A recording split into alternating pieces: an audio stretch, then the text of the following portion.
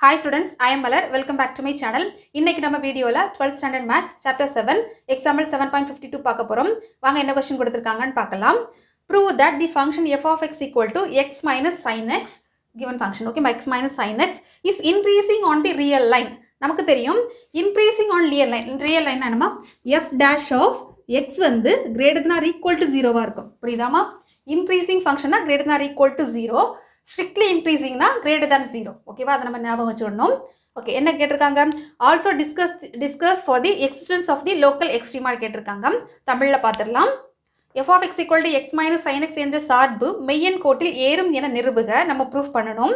மேலும் அதன் இடம் சார்ந்த அறுதி மதிப்புகளை ஆராய்க. எக்ஸ்ட்ரீமா வேல்யூ கேட்டிருக்காங்க. பார்க்கலாம். ஓகே இப்போ நம்ம கிவன் ஃபங்க்ஷன் நம்ம டிஃப்ரென்ஷியேட் பண்ணலாம். F dash of x equal to x sine எக்ஸோட டிஃப்ரென்சேஷன் என்னமா காஸ் எக்ஸ் இல்லையா? அப்போ மைனஸ் எக்ஸோட டிஃப்ரென்சேஷன் ஒன் இல்லையா? ஒன் மைனஸ் காஸ் எக்ஸ் இப்போ நெக்ஸ்ட் ஸ்டெப் என்ன பண்ண போகிறோம் எஃப் டேஷ் ஆஃப் எக்ஸை ஜீரோக்கு ஈக்குவேட் பண்ண போகிறோம் இல்லையா? Let f dash of x வந்து ஈக்குவல் டு ஜீரோ ஆல்ரெடி நமக்கு தெரியும் அது greater than equal to zero தான் இல்லையா? இப்போ ஈக்குவேட் பண்ணியாச்சுன்னா என்ன வரும்? My one minus cos x equal to zero அப்போது minus cos x equal to minus one அப்போ cos x equal to plus one இப்போ நம்ம காஸ் எக்ஸு எந்த எந்த இதுக்கெல்லாம் நமக்கு ஒன் வரும் நம்ம பார்க்கலாம். இப்போ பாருங்கள் நம்ம காஸ் வேஃபார்ம் நம்ம எப்படி- வரையலாம்னு பாருங்கள் நமக்கு தெரியும் ஒன்லேருந்து ஸ்டார்ட் ஆகும் இங்கேருந்து ஸ்டார்ட் ஆகி அதுக்கப்புறம் இந்த மாதிரி நமக்கு வரும் இல்லையா? ஸோ இது வந்து மைனஸ் ஒன் ஸோ இதுலேருந்து ஏன்னா காசுக்கு ஜீரோ இது காசுக்கு ஜீரோ டிகிரி ஜீரோ அப்போ இதுலேருந்து ஸ்டார்ட் ஆகி நமக்கு ஆம்பிச்சோட அப்படி மாறி மாறி வரும். காஸ் எக்ஸ் எதுக்கு ஒன்னுங்கிறது எதுக்கு வரும் பார்க்கலாம். இதை வந்து நமக்கு யூனிட் யூனிட் சர்க்கிள் இதை யூனிட் சர்க்கிள் வச்சு நம்ம ஈஸியாக கண் ஆன்சர் கண்டுபிடிக்கலாம் பாருங்கள் அந்த அதோட ரேஞ்சு இப்போ பாருங்கள் இந்த இடத்து- இதான் ஃபஸ்ட் வேல்யூ தான் நமக்கு காசு அப்போ காஸ் எக்ஸ் நமக்கு எதில் வருது? டூ பை வருது இல்லையா? அப்போது x equal to two pi two pi மட்டுமா வருமா?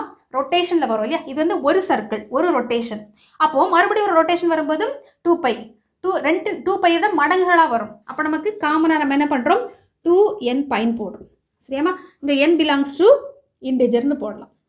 ஓகேவா புரியுதாம்மா? ஏன் நம்ம என் போட்டு வச்சுருக்கோம்?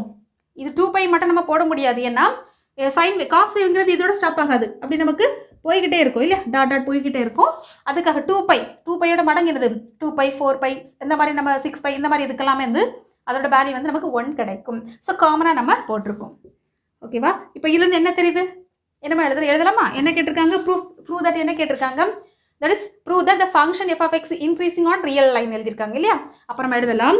That for f of x is increasing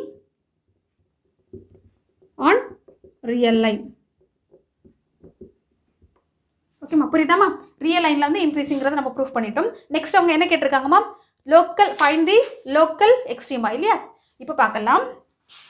இப்போ இதில் பாருங்கம்மா டூ பை அப்போ டூ பை நமக்கு போகும்போது அதோட ஆன்சர் வந்து அதோட வேல்யூ வந்து உனக்கு ஒன் கிடச்சிருக்கு இல்லையா? இந்த இடத்துல நல்லா நோட் பண்ணணும். இதில் வந்து நமக்கு சைன் சேஞ்சே இல்லை. சைன் சேஞ்ச் இருந்தால் தானே நம்ம வந்து லோக்கல் எக்ஸ்ட்ரீமாக மினிமா கண்டுபிடிக்க முடியும். இதில் நமக்கு சைன் சேஞ்சே இல்லை. அப்புறம் நம்ம எப்படி எழுதலாம் பாருங்க. Since there is no sign change when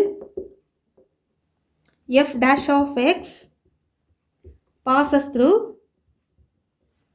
passes through passes through okay ma th or o u g h.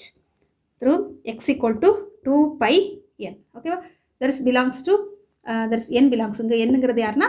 Belongs to integer புரியுதாமா நமக்கு சைன் சேஞ்சே இல்லை. ஸோ இதில் நம்ம லோக்கல் எக்ஸ்ட்ரீமாக கண்டுபிடிக்க முடியாது. அப்புறம் நம்ம எப்படி கன்க்ளூட் பண்ணலாம்? Know that for no local எக்ஸ்ட்ரீமா புரியுதா? ஏன் நம்ம இந்த மாதிரி முடிச்சிருக்கோமா?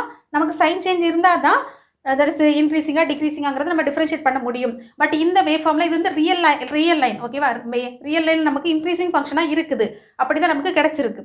ஸோ இதில் வந்து நமக்கு சைன் சேஞ்ச் இல்லாததுனால லோக்கல் எக்ஸ்ட்ரீமாக நம்ம கண்டுபிடிக்க முடியாது. ஏன்னா அது ஈவனாக நமக்கு ஒரே லெவலில் இருக்குது. அதோட சேஞ்சஸ் வந்து நமக்கு இல்லை. அதனால் நம்ம லோக்கல் எக்ஸ்ட்ரீமாக கண்டுபிடிக்க முடியாது. தமிழ் சென்டென்ஸ் நான் எழுதி போடுறேன்.